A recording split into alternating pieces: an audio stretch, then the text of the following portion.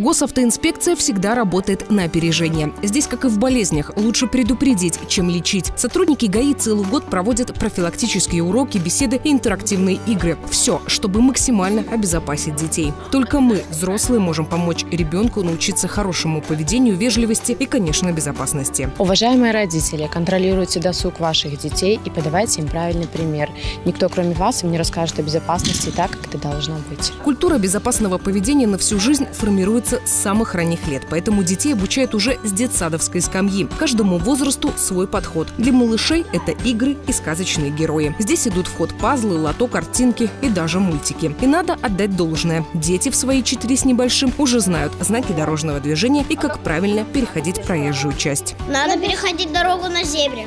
И, и на, на пешеходном, на светофоре. либо на, на, на светофоре. А как переходить дорогу, если вы на самокате или на велосипеде? Да, нужно тогда вот так вот взять в руки и пойти. Встать, а потом пойти.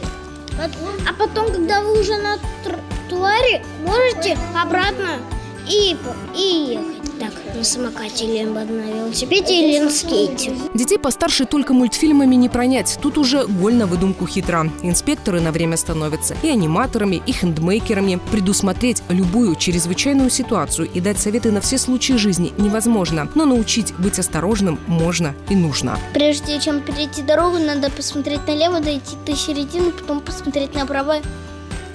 Еще нельзя играть возле дороги, ездить по дорогам на великах можно только с 14 лет. Я всегда, конечно, беру с собой фрикер. У меня он где-нибудь всегда висит, чтобы, если машина едет, она его не заметила. Но ответственность лежит на всех участниках движения. И нам, взрослым, стоит проявить особую внимательность. Лишний раз притормозить перед пешеходным, осмотреться на перекрестках, возле школы, во дворах. Ваша осторожность может предотвратить беду. За прошлый год в Бобруйске зарегистрировано 13 ДТП с участием несовершеннолетних. В 11 из них ПДД нарушили именно водители. На деле же все просто. Вовремя взять ребенка за руку, еще раз напомнить правила безопасности, а главное быть примером. Ведь воспитание – это зеркало, в котором отражаетесь вы сами.